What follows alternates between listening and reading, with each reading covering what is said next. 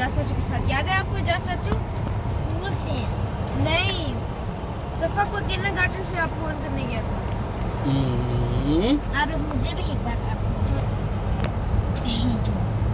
Du gehst immer noch mit der gleichen, oder? Ja. Die Schule ist wirklich sehr groß und hat einen खबरदार German बोली किसी ने इस घर में। मेरा तो मनीना कुछ भी ज़्यादा पड़ा है। बात है लेकिन अगर मेरा इंशाल्लाह कोई